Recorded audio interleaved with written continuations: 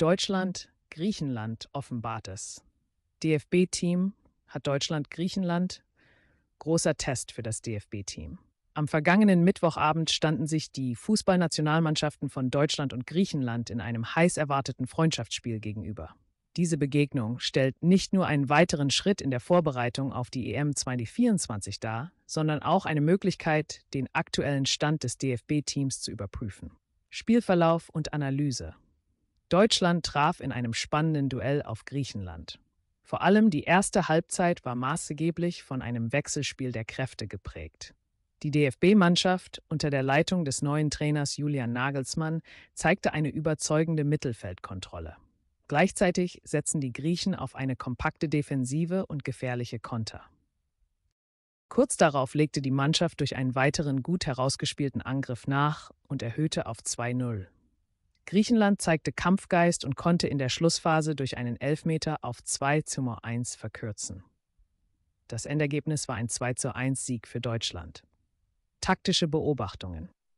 Die Begegnung ließ tiefere Einblicke in die neue Taktik des DFB-Teams unter Nagelsmann zu.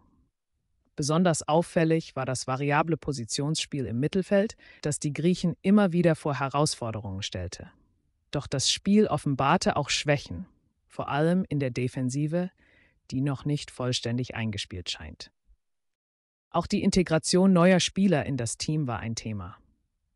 Der junge Florian Wirz und Jamal Musiala zeigten vielversprechende Ansätze, allerdings blieb die Abstimmung mit den erfahreneren Akteuren teilweise noch ausbaufähig. Nagelsmann fasste es nach dem Spiel zusammen. Wir haben heute gesehen, dass wir noch viel Arbeit vor uns haben, aber auch, dass wir auf einem guten Weg sind. Ausblick auf die EM 2024. Dieses Freundschaftsspiel gegen Griechenland diente nicht nur als Test, sondern auch als Gradmesser für die bevorstehende Europameisterschaft. Die Zuschauer konnten live miterleben, wie sich das DFB-Team unter seinem neuen Trainer entwickelt und welche Herausforderungen es noch zu bewältigen hat. Besonders wichtig wird es sein, die Defensive zu stärken und die neu integrierten Spieler optimal ins Teamgefüge einzubinden. Interessant wird auch die Frage sein, ob Manuel Neuer seine Form über die kommenden Monate halten kann und ob er weiterhin der Rückhalt des DFB-Teams sein wird.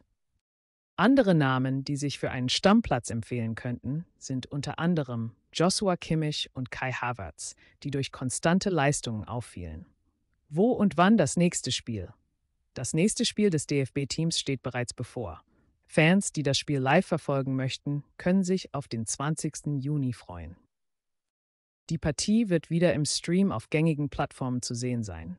Weitere Informationen hierzu werden auf den offiziellen Kanälen des DFB bekannt gegeben.